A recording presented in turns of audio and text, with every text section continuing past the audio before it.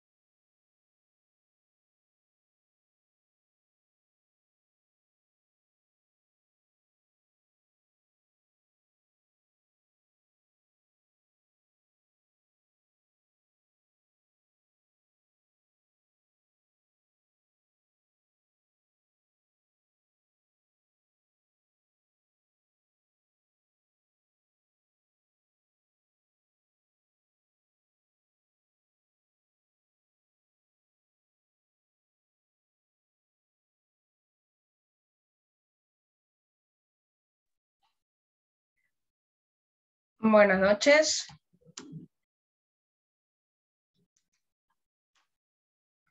Buenas noches. Hola Carla, hola Edwin. Eh, bueno, no sé qué le pasó al resto, pero bueno, no hay casi nadie.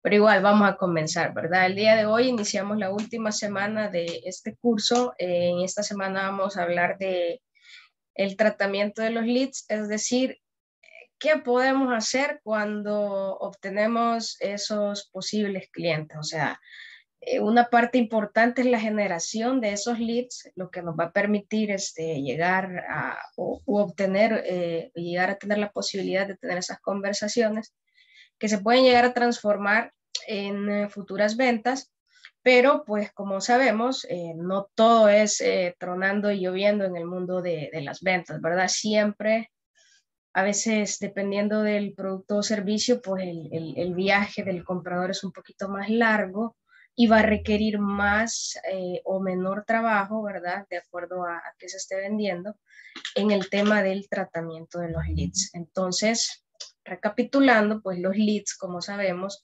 son aquellos datos de personas o aquellas personas que en un momento dado nos han compartido su información, su número, su nombre completo, su número de teléfono, su correo electrónico. Ahí es un lead seguro, ¿verdad? Eh, no sabemos si esta persona realmente va a pasar por todas las etapas del embudo de conversión y finalmente va, vamos a lograr eh, tener esa relación redituable con ellos o probablemente no. Entonces, de acuerdo a cómo van avanzando y cómo vamos cualificando esos leads, pues van cambiando de estatus, ¿verdad? Van pasando de ser leads a, a pues, eh, compradores, ¿verdad? Y, bueno, la esperanza es que se vuelvan unos em, promotores de la marca y bueno, pero pues, eso lleva su trabajo, ¿verdad? Ya lo hemos hablado un poquito. Entonces, de eso se va a tratar esta sección, de algunas formas de hacer ese tratamiento de leads de algunas herramientas que vamos a poder utilizar para hacer eso, ¿verdad? Y, y, obviamente tener muy claro de qué se trata este tema y que realmente es bien fundamental si queremos que nuestra estrategia, nuestra estrategia perdón, de inbound marketing sea realmente efectiva, ¿verdad? Ya hemos venido pues hablando desde lo básico, ¿verdad? De lo general del tema de la estrategia de inbound marketing y obviamente vamos pasando por eh, diferentes etapas como les decía, de lo general y vamos llegando a lo particular, ¿verdad? La carnita, el qué es hacer con cada una de eh, las, este, los pilares del inbound marketing y este, pues, sin duda alguna es uno de ellos, ¿verdad? Así es que de eso vamos a hablar en esta clase. Bueno, ¿qué es la nutrición del leads? O eh, el término anglosajón que es leads nurturing. Entonces, este tema o esta parte del inbound marketing se trata de un proceso, ¿verdad? Un proceso de preparar y acompañar a los leads durante el viaje de compra o el proceso de compra de las personas. Quiere decir de que los vamos a acompañar desde el momento cero, cuando se interesó por nuestro contenido que lo hizo llegar y, volverse de un extraño a visitante a nuestro sitio web o a nuestras cuentas oficiales de redes sociales. Y a partir de eso, pues intentar entablar una relación con este prospecto para, como les decía antes, pues eh, encaminarlo en cada una de las etapas del embudo de conversión hasta llegar a la etapa final. Entonces es un acompañamiento durante todo este viaje que puede llegar a realizar un posible comprador. Y entonces también hablando de la nutrición de leads, es, es importante que nosotros entendamos un poco eh, la historia de esto. O sea, el tema de nutrir a los prospectos no es algo que nació con el marketing digital o que apenas tenga 10 u 8 años. Para nada, realmente es una situación, es una actividad que normalmente se ha hecho en marketing convencional, o sea, no es algo nuevo, por decirlo así. Tal vez el nombre y la viralización del mismo que, vemos ahora es nuevo, pero las acciones como tal en el mundo convencional en el mundo físico se han dado, ¿verdad? Siempre los equipos de ventas han tenido la necesidad de una vez tener la cartera de clientes, intentar seguir en comunicación con ellos. ¿Cómo se hace esto? Bueno, en la etapa previa a que, a que tuviesen los datos, pues se llamaba la atención de los posibles clientes, se les atraía mediante campañas publicitarias ya sea en, bueno, que se fueran en los medios convencionales, en los más grandes, como la televisión y la radio, el periódico, o con la publicidad exterior, de manera tal que las, eh, las personas se interesaran primeramente en la marca y desarrollaran afinidad por la marca antes que por el producto. Entonces, de esa manera se hacía eh, la primera etapa de el llamar la atención de las personas siempre hablando en el mundo convencional, ¿verdad? En el mundo offline.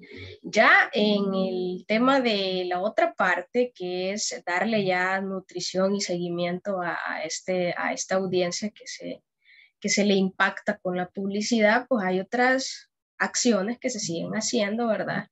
Eh, por ejemplo, pruebas de productos, eh, focus group, que, en parte puede ser como una investigación, pero también en parte para recabar eh, otro tipo de información ya cuando se es cliente o cuando aún no se es y que queremos provocar a través de una prueba de producto que las personas, eh, que las personas perdón, detonen esa acción de poder comprarlo.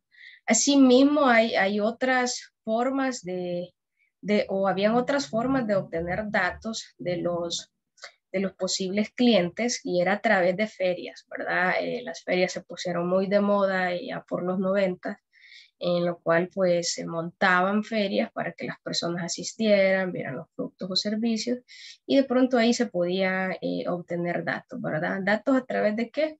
Pues de certificados de descuento, siempre si lo ven, estábamos hablando de las mismas acciones, las mismas conversiones solo que en el mundo físico, es decir, en una feria yo iba, brindaba mis datos personales y a cambio de eso yo podía obtener, un, por ejemplo, un certificado de descuento. Entonces, ¿qué pasa? Que cuando lo vemos en el mundo digital, ocurre la misma conversión. Yo entro a un sitio web, se me presenta una página emergente donde me dice que si yo quiero descargar, por ejemplo, una plantilla, yo tengo que dejar mis datos. Entonces, si ven, es un concepto que no se ha eh, eh, creado con el marketing digital, simplemente se ha adaptado. Entonces, esa es parte de la historia de, la nutrición de leads. Entonces, claro, cuando en el, mundo offline, cuando no estaba desarrollado el inbound marketing, el marketing digital, eh, básicamente lo que ocurría es que a través de esa captura de datos, pues se, se empezaban a trabajar esas bases, ¿verdad? Y se les empezaba a enviar la información pertinente a las personas que se les había recopilado la información. Eh, podría en aquel momento haber funcionado el correo eh, físico, ¿verdad? Y ya comenzaba, pues ustedes saben que por el 90 pues ya empezaba a haber indicios de, de uso de Internet en algunos países más que otros. Entonces podría empezar a, o se empezó a dar también de forma digital, ¿verdad? Lo que sucede es que en aquel tiempo no se habían desarrollado las herramientas que hoy tenemos. Por lo tanto, el envío de correos a través del correo electrónico, primero porque el Internet tal vez no era una herramienta como lo es ahora de dominio público, eh, y en segundo lugar, porque no habían tantas herramientas para automatización como ahora sí las tenemos. Entonces, se volvía una actividad un poco ineficiente y, dejó de tener importancia. Pero bueno, eso se los cuento para que vean que es un concepto que siempre ha estado en el mercado. Lo único que em, no se le había sacado el, mejor provecho, pues por las limitantes que les comentaba acerca del el Internet. Eso es como que un poquito de historia para que entendamos de dónde viene la nutrición de los leads o de los prospectos. Entonces, acá tenemos un pequeño gráfico, ¿verdad? para que veamos un poquito cómo es el tema de, todo el, tratamiento de los leads que, nosotros podemos tener. Entonces, si ven acá, tenemos pues el, acá el, icono de una, un cibernauta que se vuelve, que es un visitante a priori, ¿verdad? ¿Por qué? Porque ha sido llamado a través de la publicidad o posts virales ya sea a través de las redes sociales, del motor de búsqueda, a través de los anuncios, por supuesto, o a través de correos electrónicos. Entonces, eh, llegan, visitan el sitio, ¿verdad? Entran y pueden llegar a hacer la primera conversión. Esa primera conversión que nos permite obtener los datos de la persona. Ya le hemos hablado qué tipo de conversiones, descargas gratuitas de archivos, eh, ingresos a webinars, em, ¿qué más? Eh, alguna masterclass gratuita, etcétera. Lo que nos sirva para poder obtener esos datos del visitante. Una vez que obtenemos esos, esos datos, entran precisamente a nuestra base, ¿verdad? Donde se realiza un lead scoring. ¿Esto qué quiere decir? Esto no es más que una clasificación y cualificación de los prospectos. ¿Esto qué quiere decir? Que muchas veces vamos a generar un montón de datos y no necesariamente todos eh, son eh, o pertenecen a la audiencia que nosotros esperamos o están en la disponibilidad de comprar los productos o servicios que nosotros estamos ofreciendo en ese momento. Entonces, eso es importante hacerlo previamente a la nutrición de leads, porque ¿qué pasaría si yo empiezo a dejar ir información eh, pareja, verdad? Muy probablemente voy a mandar información a gente que no esté interesada realmente en un producto en particular, sino más bien en otro y nunca le llegó la información. Por lo tanto, el viaje del comprador finaliza al ver que no hay algo que realmente le interese. Por lo tanto, si yo hago una división correcta, hago una lista dinámica de, o una segmentación de mi base de datos, pues obviamente voy a estar enviando la información correcta a la persona correcta. Entonces tenemos que hacer previamente esa separación, esa división o esa segmentación de nuestra, eh, de nuestra base, de esos datos que hemos capturado. Luego, pues ya viene la parte eh, de lo que estamos hablando ahorita, que es el lead nurturing, que lo que se trata acá es de empezar a enviar información, ¿verdad? Esa información se puede ir mediante correo, se puede ir mediante mensajitos, como los mirábamos ayer a través de los chatbots, eh, de mensajes eh, directos al celular, los SMS, o incluso si el proceso de compra es corto, pues directamente una llamada, ¿verdad? Una vez que la persona realiza la conversión, en este caso la compra del producto, pues la cosa no acaba ahí, ¿verdad? Yo creo que todos tenemos claro ese tema. Tenemos que seguir eh, realizando una fidelización, un seguimiento, porque de pronto esta persona nos puede volver a comprar productos o servicios o nos puede eh, hacer una, digamos, eh, volverse un promotor de la marca. Entonces, esa es como la fábrica de la nutrición de los datos, es el proceso que debemos llevar a cabo y que finalmente desemboca en que eh, la persona que entró como visitante a nuestra web o a nuestras cuentas sociales, pues termine siendo un cliente. Entonces, la misión siempre va a ser tratar de eh, sacar el mayor porcentaje eh, de personas que nos visitan y que se vuelvan clientes, es decir, que no se queden en alguna de estas etapas, ¿verdad? Claro, ya también tenemos que tener contemplado que no todos van a lograr llegar hasta el final porque pues eh, dependerá del medio por el cual llegaron, tendrán mayor o menor temperatura para poder convertirse a un cliente. Pero ese es el gráfico que tenemos que entender, ese es el tratamiento que se le puede dar a leads y, y ese es el orden que deberíamos de utilizar a la hora de implementar nuestra estrategia. Ok, ¿preguntas al respecto?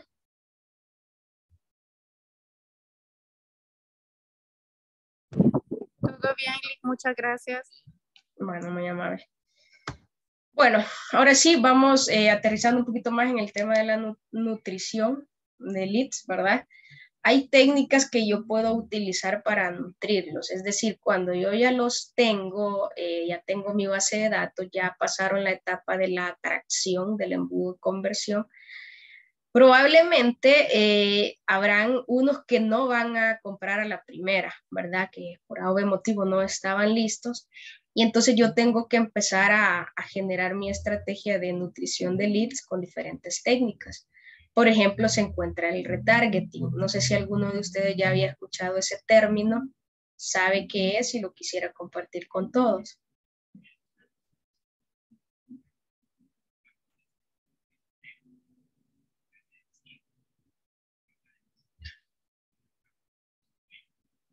Bueno, el retargeting es básicamente el reimpactar a una audiencia o a un lead con una publicidad similar o la misma publicidad que ya fue impactado una vez, pero que no hubo una reacción positiva o que de pronto sí lo llevó a nuestra página web, eh, sí entró a, la tienda en línea, sí seleccionó el, el producto que quería comprar, pero por A motivo lo dejó en el carrito, entonces no finalizó la compra. Entonces, esta es una persona que de alguna manera está interesada, pero que por A motivo no terminó la compra. Entonces, lo que hacemos es realizar esa campaña de retargeting para volver a impactar a estas personas y tratar de que continúen eh, el proceso que dejaron inconcluso, ¿verdad? Luego tenemos las tablas o las listas dinámicas, perdón, esta es la segmentación básicamente de, eh, o la clasificación de los leads de acuerdo a los perfiles y, que coincida con el producto que vamos a o que estamos tratando de vender. También podemos eh, tener una técnica de call to action eh, inteligentes. Esto quiere decir que muchas veces cuando entramos a una página web la primera vez nos va a enviar cierto tipo de llamada a la acción mediante un pop-up o una, bueno, una pantalla emergente, más bien dicho. Em, si ya nosotros hemos visitado más de una oportunidad la, la, página o ya somos clientes, esa llamada a la acción va a cambiar. Si la primera era eh, cuando nosotros no somos clientes, que nosotros nos, eh, pues, registremos, ¿verdad? Que nos demos de alta en una plataforma, por ejemplo, y, pero no lo hacemos. O al contrario, sí lo hacemos, pero lo hacemos de forma gratuita. Entonces, la siguiente call to action va a ser eh, muy personalizada y pues invitando a la persona que ya tiene su cuenta gratuita que escale, ¿verdad? Y que se vuelva premium. Entonces, eh, eso es la manera de em, personalizar u otras acciones que puedan ocurrir en el viaje del comprador que nos permitan eh, realizar esa personalización, ¿verdad? Y luego tenemos los chatbots que hablábamos el, día de ayer y pues, la semana pasada también, eh, pues es importante mantener la conversación y el flujo de información a través de la ayuda de los chatbots. Bueno, y también tenemos características por las cuales eh, vamos a interactuar con el usuario, ¿verdad? Eh, en mayor o, menor medida vamos a interactuar con el usuario de acuerdo al buyer persona, o sea, si es el buyer persona que realmente nos representa, que nos va a generar ese flujo de, conversión que necesitamos, pues la nutrición que le vamos a dar va a ser mayor, ¿verdad? Si es eh, si no coincide con las características del buyer persona, pues no, no perdamos el tiempo, ¿verdad? Sabemos que uno no vamos a invertir mucha energía en eso. También eh, la interacción va a depender de la fase del proceso de compra en la que se encuentra. Por ejemplo, el, el, el, ejemplo que les tocaba hace unos minutos, que a lo mejor alguien entró, llegó a la página, se volvió visitante, ya nos dio sus datos, ya visitó la tienda en línea, ya seleccionó uno u otro producto, pero que pues eh, no logró efectuar la, conversión, la compra. Entonces, la nutrición de datos que vamos a tener con estas personas puede ser a través del correo electrónico, haciéndole saber que, que sí vimos que no logró concretar la venta y que si tiene algún tipo de duda o algo en que lo que necesite que le ayudemos, pues que, estamos a disposición, ¿verdad? Todo en función de que si le ha surgido alguna duda, eh, si no tiene la confianza necesaria, pues poder desarrollársela en ese momento. O por el contrario, si ya enviamos un mensaje de ese tipo y no hemos recibido respuesta, podemos enviarle otro más adelante, otro correo electrónico en el cual le hagamos saber de que, de que es parte de un grupo selecto de personas y que si decide pues comprar su producto, pues va a obtener un cierto porcentaje de descuento.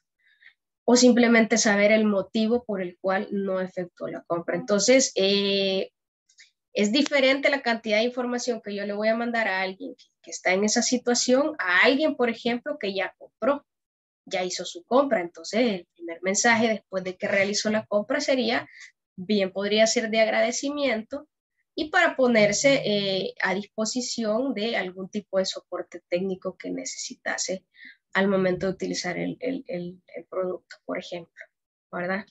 Y luego las interacciones del usuario con las comunicaciones de la marca.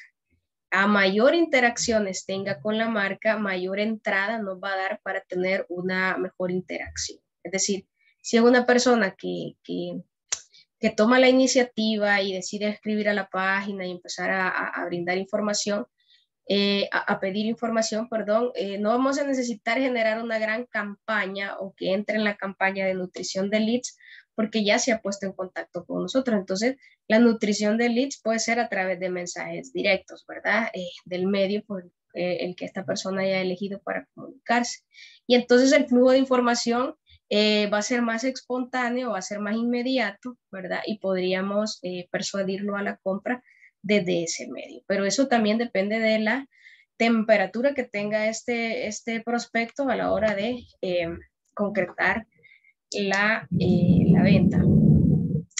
Tenemos herramientas que también podemos utilizar, ¿verdad? Eh, a la hora de nutrir y antes de nutrir a nuestros prospectos.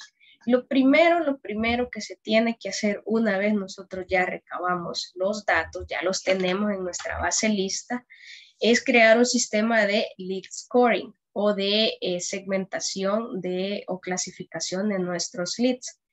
Eh, una vez más, no podemos mandarle la misma información a todos los prospectos si es que estamos ofreciendo productos o servicios diferentes, si tenemos más de un producto o servicio eh, tenemos que, verificar qué es lo que realmente eh, está buscando comprar. Y para eso sirven las preguntas filtros, como las que ustedes se enfrentaron a la hora de unirse a, estos cursos, ¿verdad? Si no, si, si estoy mal, pues obviamente les preguntan si son cotizantes o no. Eso va sirviendo para cualificarlos a ustedes. Si, si ¿qué más? Que sí, qué curso eh, eh, deciden tomar o en cuál están interesados y si deciden inglés, en qué nivel, etcétera, etcétera. Entonces, todo eso les va dando a ustedes, o perdón, a la empresa les va dando los, los insumos necesarios para poder cualificar a, a leads y enviarle la información adecuada. ¿Por qué?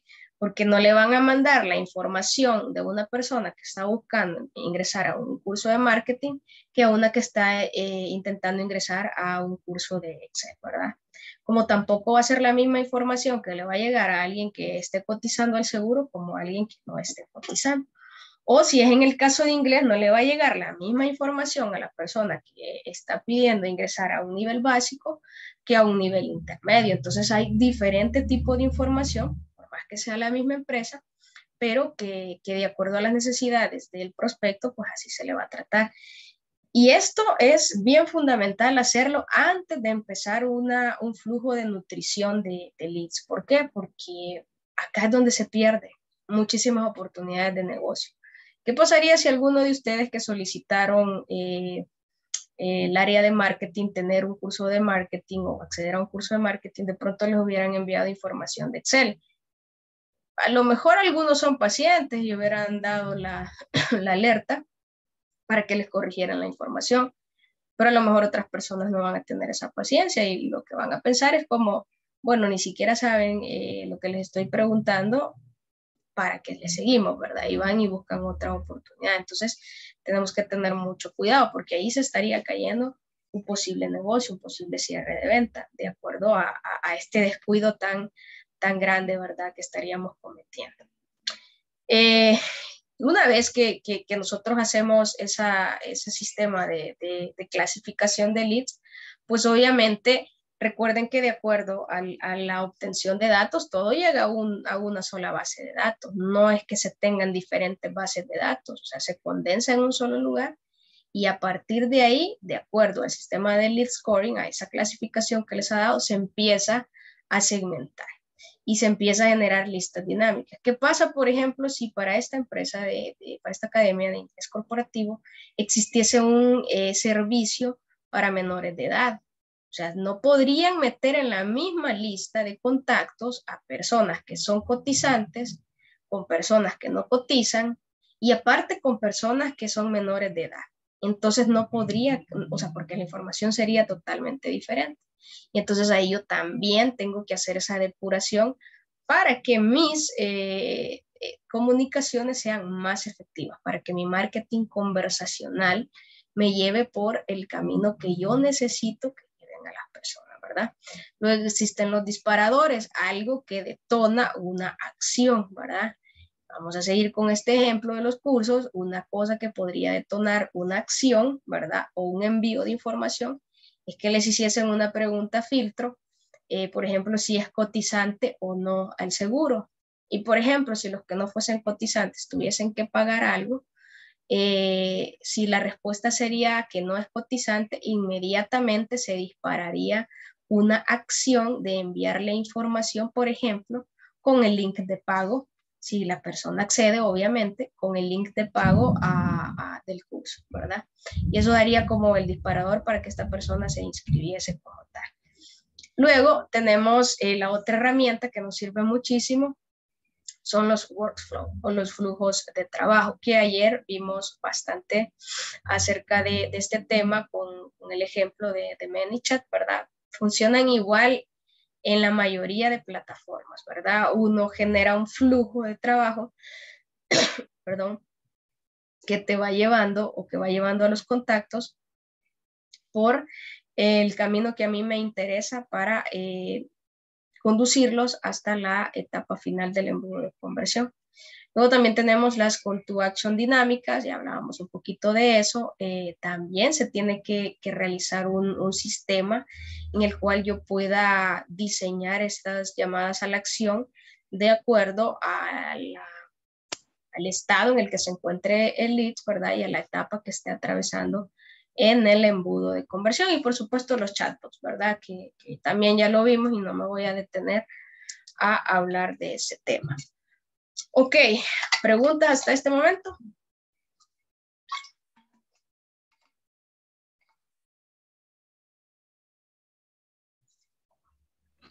Gracias, Lick. Eh, no, por el momento no. Muchas gracias, Roxana.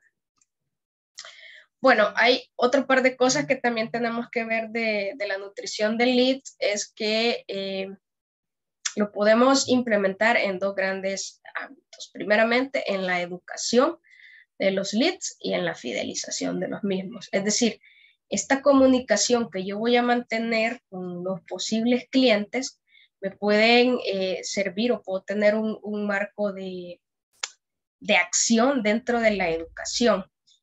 Eh, es decir, dentro de, de, esa parte en la que yo necesito que las personas se empapen de lo que es mi marca, de lo que puede hacer por ellos mi producto o servicio, y la parte posterior a la compra, ¿verdad? ¿Cómo los voy a enamorar? ¿Cómo los voy a deleitar para que pasen de clientes a promotores? Entonces vamos a ver cada uno de ellos.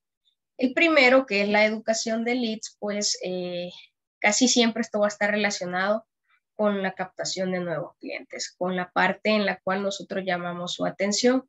Por lo tanto, es importante tener una buena publicidad cuando utilizamos pues, las plataformas de, publicidad, tener un concepto claro, pero que a la vez eh, le genere la expectativa y el interés a las personas en seguir eh, preguntando, ¿verdad? Eh, en seguir empapándose de esa información para, eh, em, para poder eh, darle ese tratamiento. Entonces, el nurturing educativo eh, se da especialmente en los casos en los que lo que se está comercializando va a tener un, impacto considerable en la vida de las personas. Que dicho de otra manera, no es tan barato, ¿verdad? En el caso, por ejemplo, de adquirir un vehículo. Cuando se va a adquirir un vehículo, no es una decisión tan fácil de tomar, al menos para la mayoría de las personas. ¿Por qué? Porque aparte que es una inversión bastante grande, eh, para la mayoría de las personas lo hablo, ¿verdad? Este, eh, tiene mucho que ver con el impacto que va a tener. Es decir, si voy a comprar un vehículo que me va a transportar, eh, o me va a saciar la necesidad de transporte, tengo que, que, obtener un vehículo que esté en óptimas condiciones. Pues no, menos quiero comprar es un vehículo que me va a fallar en, en un mes, en dos meses. Entonces, eh, yo tengo que tener la capacidad de educar a mis prospectos respecto de las características del coche, aunque tal vez no técnicas, tan técnicas, porque las podrá encontrar en Internet de acuerdo a la marca, pero sí aquellas características del el servicio que yo brinde, o sea, el mantenimiento, eh, seguros, eh, cómo le sacamos el mejor provecho, cuáles son las condiciones de crédito, etcétera, etcétera. Son cosas que se van a tomar en cuenta a la hora de la toma de decisiones de adquirir este producto. Exactamente lo mismo puede pasar con una casa, ¿verdad? Eh, en la zona en la que esté, o sea, esa información o, la información de las líneas de crédito que puedo tener, con quién puedo sacar ese crédito, eh, a cuántos años, en fin, una cantidad de información que yo necesito para poder tomar esa decisión. Y así pueden venir otros servicios en el cual eh, la educación de los leads se vuelve un proceso más largo porque no es una toma de decisión sencilla. No va a ser el mismo tipo de educación eh, de leads eh, para un producto como este, como para un producto de, vamos a ver, de un shampoo, por ejemplo. Es mucho menor la inversión en esta etapa porque no es un producto que de pronto si no me sale bien como yo esperaba, lo cambio y ya está, ¿verdad? No, no le veo mayor ciencia a este tema pero una casa sí. Imagínense que yo no, eh, no hice una buena nutrición de leads y de pronto ya cuando la persona está, ya la compró la casa, quizá yo no, no fui claro en explicarle algo y, y, la persona me lo va a achacar y luego me va a hacer la mala fama y bueno, se vuelve un problema. Incluso hasta podría entrar en problemas legales. Pero un shampoo que yo diga, ok, es para cabello rizado, y ya, ¿verdad? Ya, ya di mi, información ahí, lo que hice en el envase, lo que pueda poner en un, spot publicitario, pero por ahí la persona no puso la suficiente atención o cuando lo tomó en el supermercado, pues no, no leyó que, que será la versión X, no la versión Y que le conviene, pues no pasa mayor cosa, o sea, va y, y compra otra vez otro shampoo, porque probablemente se dé cuenta que sea su error o si fue error eh, de la empresa, pues no, no, pesa, no pesa mayor cosa. No es tan, eh, tiene un gran impacto, pues para que lo entiendan de esa manera.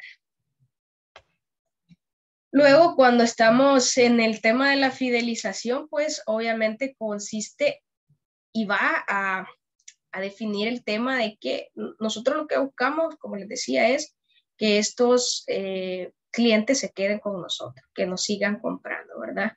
que no sea una compra esporádica, sino que se mantengan con nosotros durante mucho tiempo.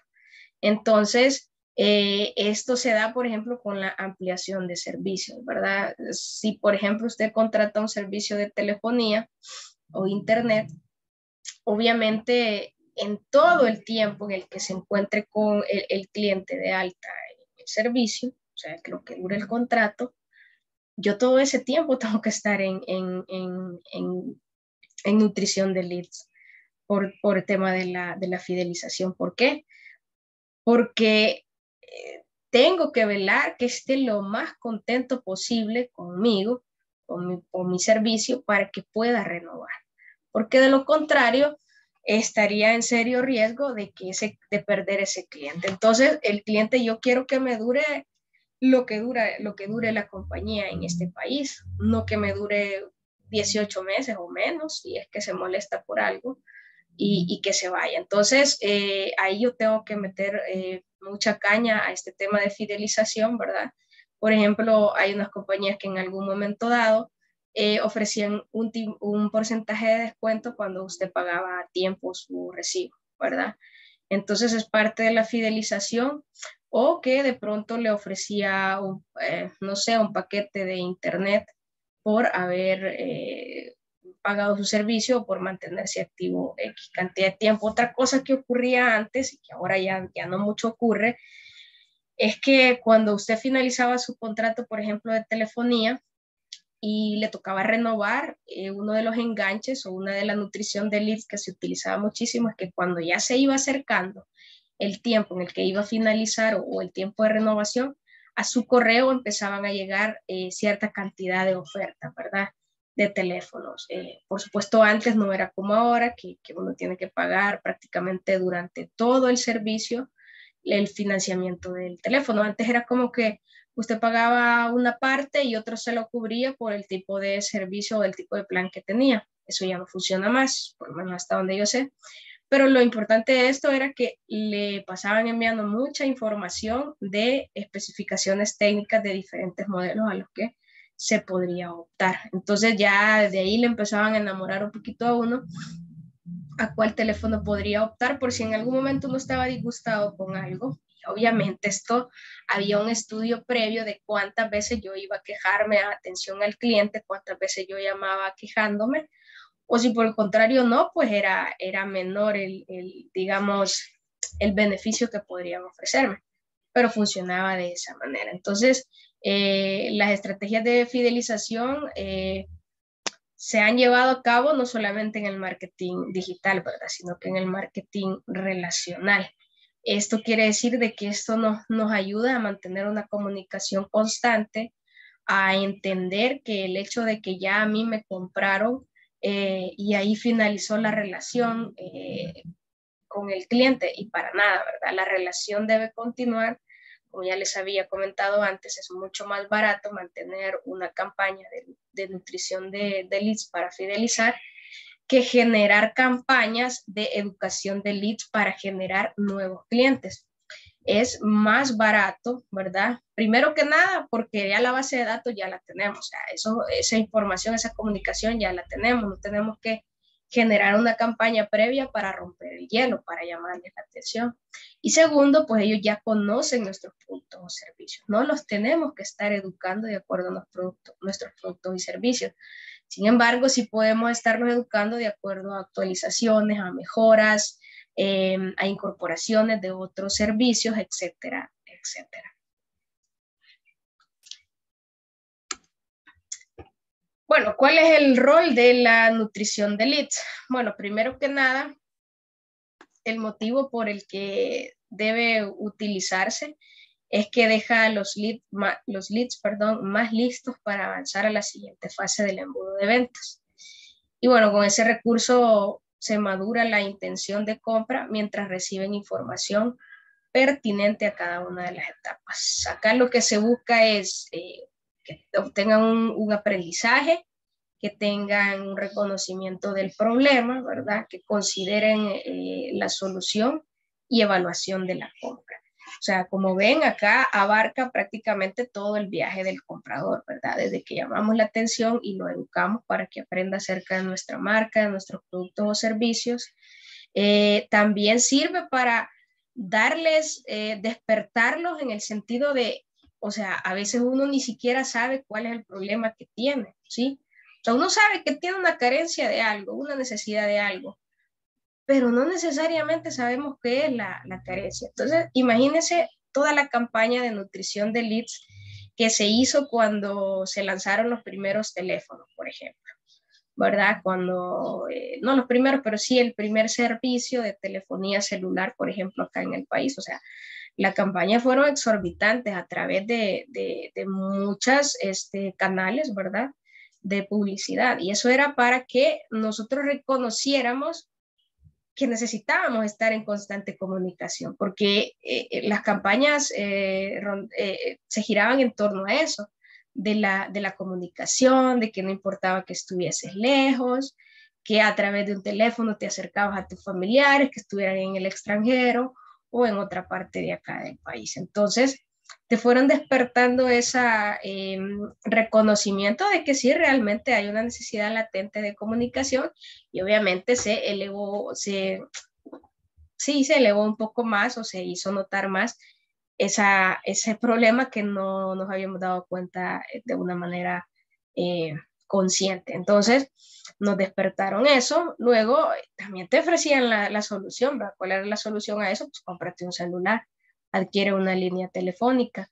Y entonces, pues, pues sí, ¿no? Nos presentan el problema, nos presentaban la solución y después pues pasábamos al tema de evaluar cuál era la, la opción mejor de compra, ¿verdad? Y, y, ahí es donde nacieron los paquetes y nacieron que, que paquetes ejecutivos, que paquetes para estudiantes, que, que esto, que lo otro, etcétera, etcétera. Pero la nutrición de leads iba mediante la publicidad masiva ¿verdad?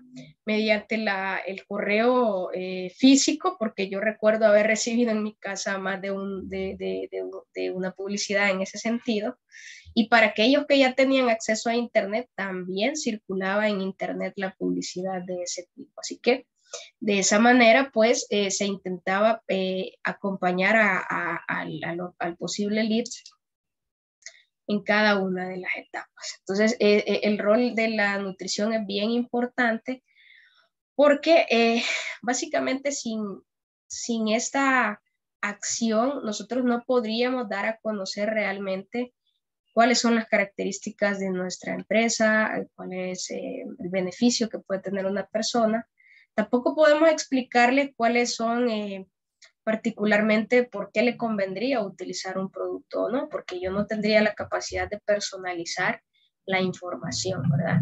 Tampoco tendría la forma rápida, porque es otra cosa importante, o sea, la nutrición de leads ha venido a explotar con el inbound marketing, con, con el desarrollo tan acelerado que ha tenido la publicidad digital y la cantidad de datos a, realizar, porque sería demasiado cansado ir uno a uno, un correo eh, al tiempo, enviando un correo al tiempo, personalizándolo y enviándolo personalizado. No se podía, sería muy difícil. Entonces, las, la situación es que entre más datos tengo, eh, más rápido los tengo que atender, los tengo que nutrir y para poder hacer esto, tengo que hacerlo de acuerdo a estas estrategias que les he mostrado acá, pero eh, apoyada en la automatización, que también lo vamos a ver adelante, que, que es bastante importante, juega un papel bien importante en este tema de la nutrición de leads y el marketing relacional. Entonces, tiene que quedar claro eso, ¿verdad? Que es sumamente importante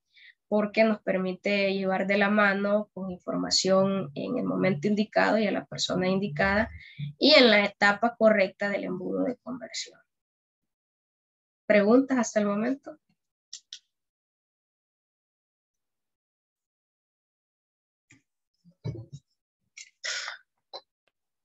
Gracias, Lick, todo bien. Muy bien. Pues bueno, acá tenemos eh, también una pequeña gráfica que muestra el, trabajo que se tiene que hacer con la, nutrición de, leads, ¿verdad? Tenemos acá en eh, un par de eh, indicadores como la capacidad de compra y la intención de compra. Y pues para atender cada una de estas etapas o cada una de, de estos estados de leads, pues obviamente tenemos que nutrir, ¿verdad? Como lo hablábamos antes, nutrir al inicio, nutrir durante y nutrir después de eh, realizada la compra. El punto acá es, como les decía, que, por ejemplo, una campaña, si usted mete 100, 200 dólares de, publicidad, se va a generar un montón de, datos. Entonces, esa es la complicación ahora mismo de, de la nutrición de leads. O sea, como yo, sin la ayuda de ciertas plataformas de la automatización, como lo vemos acá, trabajo automatizado, como yo podría darle salida a 2.000, a, a, 2.000 contactos, por ejemplo, que me llegase. Y sobre todo a tiempo, ¿verdad? Porque ya lo hemos hablado, o sea, estamos en un punto en el que el, el leads pues no está dispuesto a eh, esperar demasiado tiempo para recibir la primera información. Eh, yo he visto algunas empresas que se ven en problemas porque eh, como no les envían la información rápida a leads, este pues empieza a, entrar en desesperación y cuando finalmente se le da salida, se le brinda la información, ya no está dispuesto a comprarlo. Entonces, eh, sí que es cierto que tiene que haber esa nutrición, pero yo tengo que previamente generar mis flujos de trabajo que me permitan, eh, uno, estar a tiempo y dos, personalizar el contenido, ¿verdad? Eso es importante que lo tengan en mente, que no vean a todas las personas por igual, que probablemente no ocurra así, no están buscando lo mismo. sobre todo cuando tienen más de un producto o servicio que ofrecer al mercado. Entonces, eso tienen que tener muchísimo, pero muchísimo cuidado a la hora de generar la nutrición. ¿Por dónde podemos generar la nutrición? Se podrán preguntar, bueno, tenemos el correo electrónico que ha sido y sigue siendo vital en el, en, el trabajo de inbound marketing. Eh, obviamente tenemos los chatbots, ¿verdad? Que nos están ayudando muchísimo a tener varias, varias vías de comunicación de forma automatizada. En ambas plataformas o en ambas áreas, tanto el correo electrónico como el chatbot, podemos automatizar, Esa es la, la gran ayuda y, y, la gran importancia de, de, estas plataformas que se han desarrollado en, en, prácticamente en los últimos 10 o 15 años, es que nos ayudan, nos, nos hacen que a través de un clic o un par de clics, pues nosotros podamos hacer muchas cosas que de otra manera nos tomarían días en, en lograr eh, llevarlas a cabo. Entonces, eso, eso es bien importante con el tema de la nutrición la automatización. Ahora vamos a ver un poquito los beneficios que podemos tener, ¿verdad? Bueno, eh, primero que nada, pues vamos a tener facilidad y ahorro de tiempo de los profesionales. Esto ya lo hemos venido hablando desde la puesta en marcha de un chatbot, que la automatización, por ejemplo, de los emails, obviamente lo tiene que trabajar previo, ¿verdad? Una redacción del tipo de email de acuerdo a la persona a la que se lo va a enviar o al perfil que se lo va a enviar. Y obviamente ya preparada esa plantilla, pues lo único que se hace es montar eh, una automatización con cierta lista de correos, ¿verdad? Y pues si se puede personalizar, se personaliza y se envía. Todo lo puede hacer en un par de horas en lugar de tardarse días. Así que es un ahorro de tiempo importante. Se pueden enviar emails segmentados y relevantes, es decir, ya pues no voy a profundizar en eso, yo ya tenemos claro. Si alguien quiere cursos de inglés, pues se le va a enviar información de cursos de inglés. Y si alguien quiere información de cursos de Excel, pues se le envía información de cursos de Excel. Luego eh, se establece un seguimiento, ¿verdad? El vendedor eh, no tendrá que preocuparse por acordarse de enviar emails para mantener el contacto con los leads. ¿A qué se refiere esto? Que si yo hago mi trabajo de mi workflow, eh, yo sé que el día posterior a que me llegaron los datos, la persona tiene que ya haber recibido su primer email. Email, perdón en siete días o en menos de siete días ya tendría que estar recibiendo otro. Y así sucesivamente de acuerdo a qué tan largo sea el viaje del comprador, a qué tanto vaya avanzando en, en este viaje y obviamente de acuerdo al producto que estemos vendiendo. Es decir, yo lo que hago es programar ese tipo de envíos.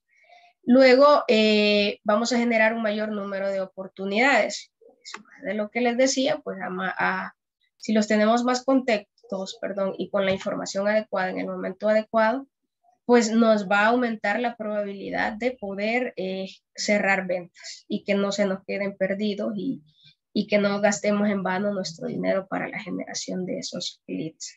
Además, vamos a generar un contacto más cercano, ¿verdad?, con la empresa durante varios días que nos va a brindar la oportunidad de comenzar eh, desde esta etapa, antes de que compren, a deleitar a los posibles clientes para que se vuelvan promotores en un momento dado.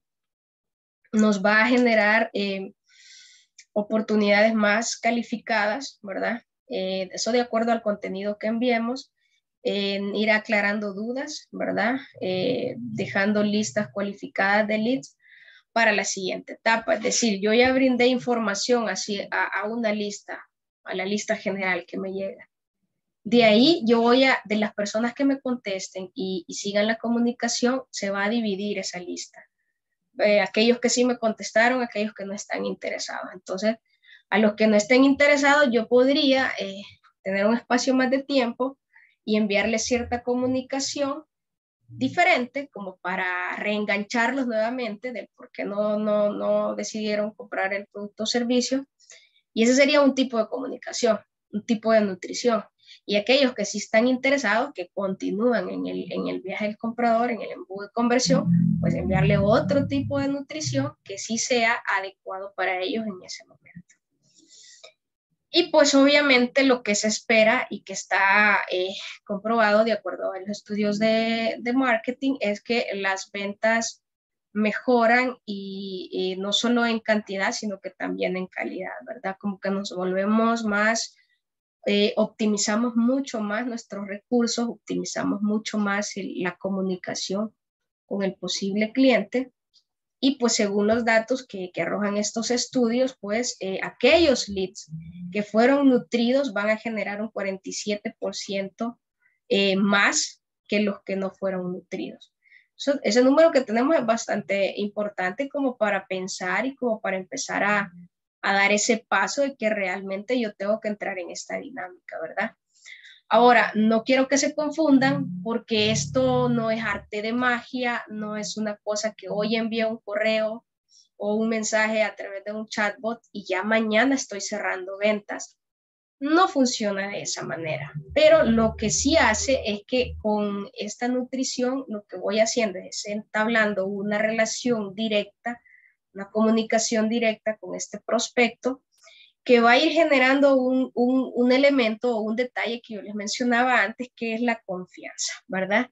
Muchas veces eh, ya los leads no es que estén buscando información tan detallada, información eh, de especificaciones técnicas, sino aquello que les genere confianza, aquello que les, que, les permita sentirse especiales, diferentes, que la empresa con la que estoy hablando hay un humano atrás de eso que entiende mis necesidades y que a través de eso, pues yo voy a tranquilamente eh, confiar en ellos y decidirme por ellos. Entonces, eh, no hay más, ¿verdad? En el tema de, de, inbound marketing, esta parte es la que eh, pues valida todo el esfuerzo previo que se hace en montar una campaña, en hacer una segmentación, en elegir, en, crear mi buyer persona y que de ahí proviene mucha información que yo voy a, que yo voy a enviar para poder generar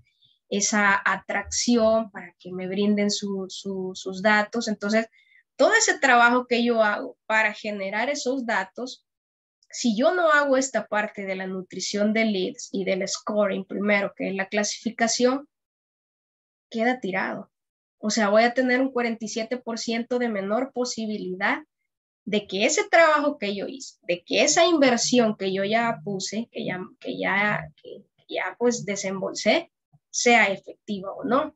Entonces dependerá de cada quien qué tanto quiere hacer efectivo eso, ¿no? O sea, si yo invertí 200 dólares, o sea, perderlos o, perder un 47% de eso, de esa probabilidad de cerrar negocios, o eh, utilizar esta estrategia y realmente utilizar eh, esa posibilidad a mi favor, ¿verdad? Entonces, esa es, la, esa es la moraleja, ¿verdad?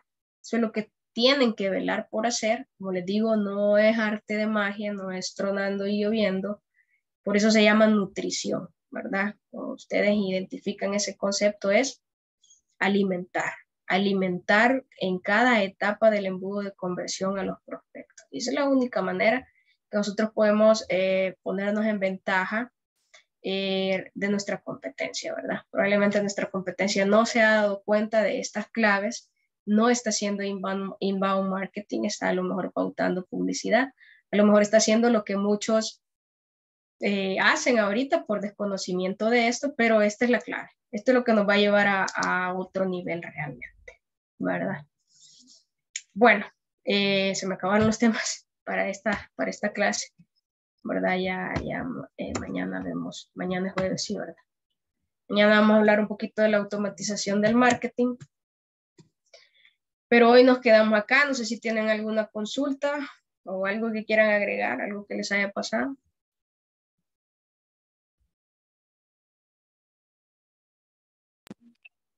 Mm, no, Lick, solamente comentar que con lo de los bots y eso de las respuestas automáticas, eh, sí que se tarda, eh, siento que es más tardado eso de te responderemos en un momento, Roxana, pero siento que es más tardado a la situación de antes, que era todo vía telefónica o todo, pero no sé si hay una aplicación que sea como más rápida o, o, que sea como más, aunque uno, como usted dice, ¿verdad? Aunque uno los pueda nutrir, pero siempre, no sé si es por el flujo, pero se, se satura y, y, al final terminamos dando un mal servicio porque no les logramos contestar aún con las respuestas automáticas a todos. Sí, ahí tiene que trabajar con los flujos, ¿verdad? Porque eh, tener varios, porque, o varias opciones a la hora que, que da el primer mensaje de bienvenida.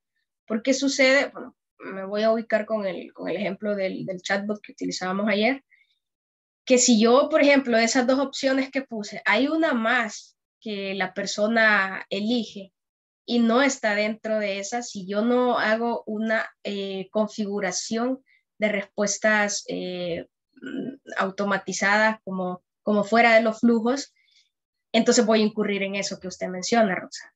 Eh, ¿Qué quiere decir? De que yo tengo que prever que a lo mejor yo le voy a dar la opción a la persona porque he montado una campaña para vender un curso de, entrar y comprar el curso o llamar a un staff, porque creo yo que quizás esas son las dos opciones de mayor rotación o de mayor demanda que pueden haber. Pero ¿qué pasa si hay una persona que en lugar de presionar una de esas dos opciones, eh, pregunta eh, de una vez cuánto vale el curso y yo no he considerado eso? Ahí entra lo que dice Roxana. Como no está, no está siguiendo el flujo, el chatbot no le va a contestar, ¿verdad? pero hay una configuración eh, y eso lo tenemos que explorar, ¿verdad? Cuando ustedes decidan irse por, por, por, una u otra plataforma, de que cuando ocurra eso, por ejemplo, en, en ManyChat, sí puedo yo eh, generarle una acción para que me envíe, ¿se acuerdan lo que les decía? A eh, chat en vivo, pero ahí necesito que obviamente esté un humano atrás de eso revisando, ¿verdad? O sea, el flujo va a ir llevando a la persona, pero si la persona que escribe eh, pregunta algo que no está dentro de las opciones que yo tengo contemplados en mi flujo, entonces ese mensaje me va a generar una alerta a mí, a mi página, a, mi celular o desde donde yo lo esté chequeando, que hay alguien que está preguntando algo que no está dentro del flujo. Y ahí entro yo, ¿verdad? Así como no, el, el, el curso vale tanto, si gusta me da su número de teléfono y le llamo y cerramos la venta. Entonces, pero todo eso depende de la configuración que tengamos y de cuánto sepamos y de cuán detallistas llegamos a ser para crear esos flujos. Entonces, eh, eh, el que yo le enseñé ayer, pues básicamente fue algo rápido, pero, por ejemplo, alguien que se meta de lleno a, a, los workflows, o sea, tiene que contemplar básicamente todos los escenarios posibles. Por eso yo les decía que era bien importante que ustedes conocieran su buyer persona a tope, ¿verdad? Que lo conocieran tan bien, que supieran cuáles son las dudas que, que, podrían llegar a tener. Una de las formas de hacerlo era, pues, vivir el servicio, ¿verdad? Vivir el, o sea, yo presento una publicidad y le pregunto a alguien que es representativo en mi Bayer persona, ¿qué dudas te surgen cuando ves esto? Ah, bueno, a mí me surge cómo yo me voy a enterar de cómo me puedo comunicar con alguien, eh, del, del, lugar, el número de teléfono, la dirección, cuánto vale el curso, Em, cuánto tiempo dura el curso, cuáles son los requisitos. Y entonces cada una de esas cosas se va volviendo un workflow. Y tengo que ir trabajando cada una de ellas si yo no quiero estar atrás en ningún momento del teléfono. Pero como yo siempre recomiendo, uno puede utilizar los chatbots, la automatización para aligerar la carga de aquellas cosas que son repetitivas. Pero eso no quiere decir que yo me voy a olvidar y no voy a verificar ese, ese chat esas conversaciones por lo menos eh, cada dos horas, por ejemplo, cada tres horas, porque ahí incurriríamos en esa situación, Roxana, de dar un mal servicio. Ok, gracias. Definitivamente ManyChat es el indicado, pero también es el más intenso porque tenemos que explorar bastante nuestras preguntas. Gracias, Lick. Sí, ya sabe. No, la verdad es que es, es el más indicado y lo ha dicho usted pero sí tiene varias configuraciones que hacer. Yo ayer le mostré algo bien básico, ¿verdad? Pero ahí, si ustedes buscan en, internet, pues apoyo de ese tipo, créanme que, que, hay niveles, hay básico, intermedio y avanzado, ¿verdad? Eh, y, hay bastante de donde, de donde aprender. Y lo chévere ahorita es que ya está integrando a WhatsApp y a Instagram. Entonces, yo, de verdad, se los full, full recomiendo y pueden empezar gratis, como lo veíamos el día de hoy. Bueno, eh, ya llegamos a, la hora. nos vamos a quedar acá. Eh, nos vemos el día de mañana, ¿verdad? Descansen y, nada, pues acá los espero. Cuídense. Buenas noches. Buenas noches. Buenas noches. Feliz noches a todos. Buenas noches.